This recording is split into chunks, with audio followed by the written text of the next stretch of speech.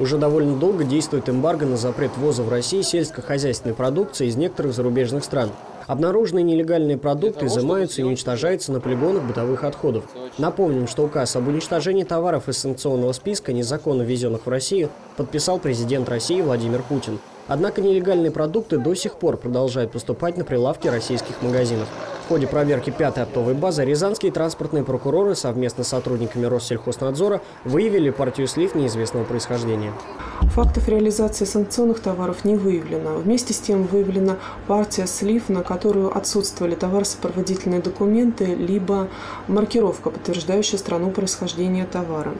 Кстати, недавно сотрудники Федеральной таможенной службы предложили новую меру ужесточения. Они сейчас разрабатывают проект постановления, который предусматривал бы введение уголовной ответственности за незаконный ввоз товаров. Эту идею поддержал и министр сельского хозяйства Александр Ткачев. Пока по всей стране идет полномасштабное уничтожение нелегальных продуктов, обычные горожане продают выращенные на своих огородах фрукты и овощи на рынках областного центра.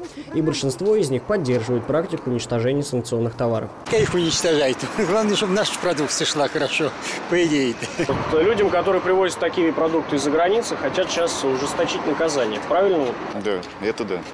А почему? Можете объяснить? Но они же сюда незаконно попадают.